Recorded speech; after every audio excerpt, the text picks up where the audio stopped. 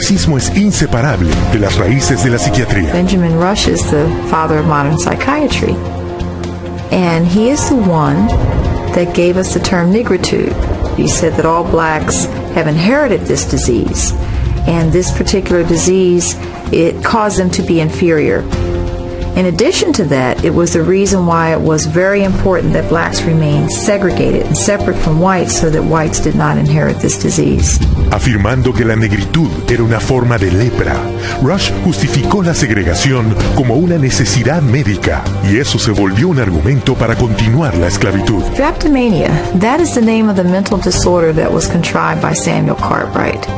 Um, who said that blacks have a mental disorder if they had a desire to run away from slavery. Después que se abolió la esclavitud, el racismo psiquiátrico no solo persistió, se intensificó. La revista americana de psiquiatría oficialmente declaró que como los negros eran descendientes de salvajes y caníbales, no estaban listos para una civilización superior, mientras su pseudociencia de la eugenesia aumentó sus actividades racistas. Pero el racismo psiquiátrico no era exclusivo de Estados Unidos. Algunos de los peores abusos del siglo XX ocurrieron en Sudáfrica, donde el gobierno adoptó las mismas teorías y prácticas racistas utilizadas por Hitler. Esto no fue coincidencia. El primer ministro había estudiado eugenesia como estudiante de psicología en la naciente Alemania nazi de los años 20. Con el apartheid implementado, los psiquiatras establecieron hospitales mentales por todo el país, que de hecho no eran más que campos de esclavos.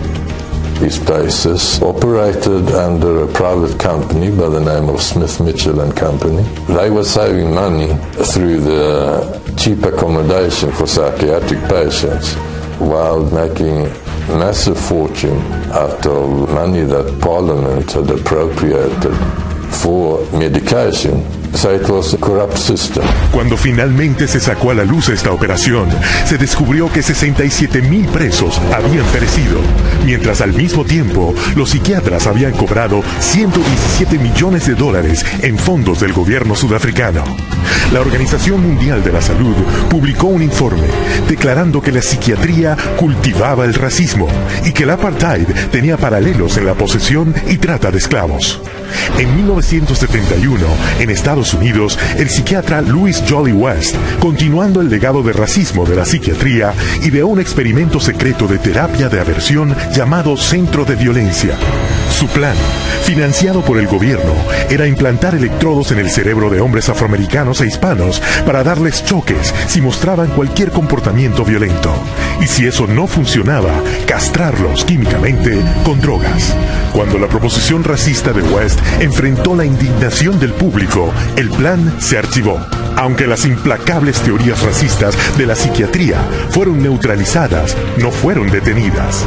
En 1994, el psicólogo Richard Herrnstein, coautor de La curva de campana, afirmó probar que los negros eran genéticamente discapacitados y por tanto inferiores a los blancos.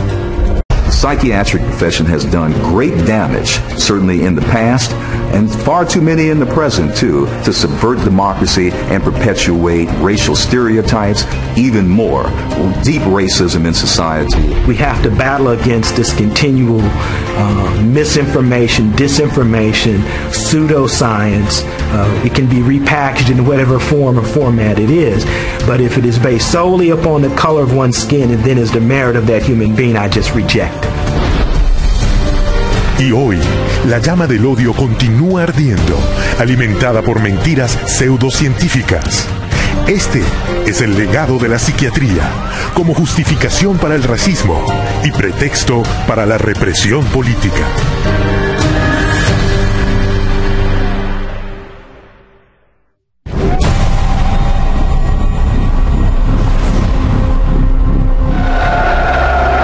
Régimen soviético exigía absoluta lealtad.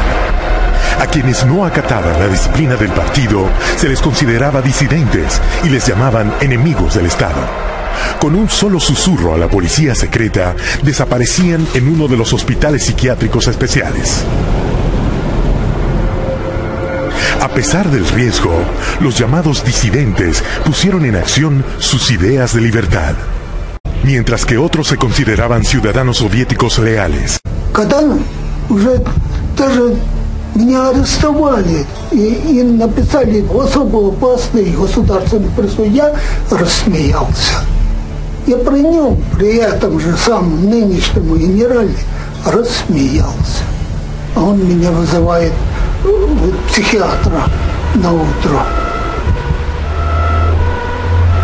Según los psiquiatras soviéticos, todos sufrían de inflexibilidad de convicciones, síntoma de un nuevo trastorno, esquizofrenia inactiva.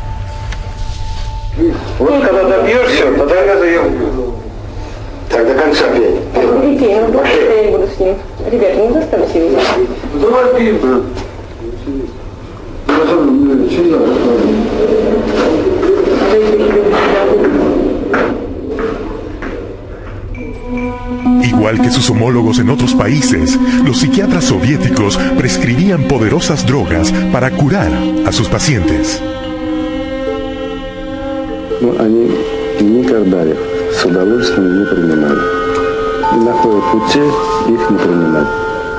Мы обязаны просмотреть прием лекарств, потому чтобы больные лекарства дошли до больного. Вот они где-то уже, как говорится, в горле Проглатывают, все, ротовая полость чистая. И потом такие делают какие-то движения, отрыгивают. Врач на обходе говорит, как себя чувствуете, Петр Петрович? Я говорю, послушайте, вот, а, а там, э, когда э, 5 кубиков галоперидола, туда, например, слюна до полу, там перекошенность вся, значит, одни мышцы растягиваются, другие сокращаются, совершенно ужасные позы, лицо все ужасное, на душе страшно просто. Я человека, вот самое главное, описать, э, описать это состояние невозможно. Санитары совершенно безнаказанно могли избивать по любому поводу или вообще без повода. Вот, например, э, санитар открывает дверь, э, и вдруг, если э, тут ты оказался, например, в этом в проеме двери.